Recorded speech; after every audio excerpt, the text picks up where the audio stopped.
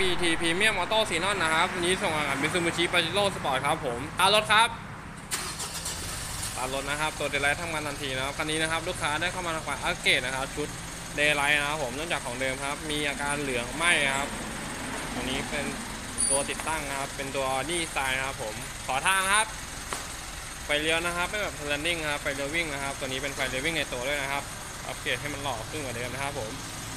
โอเคครับสำหรับลูกค้าท่านใดที่สนใจสามารถติดต่อเข้ามาได้ที่ทางเพจเฟซบุ๊ก BT Premium Auto Xenon ได้ทุกสาขาเลยนะครับ โอเคครับผมครับ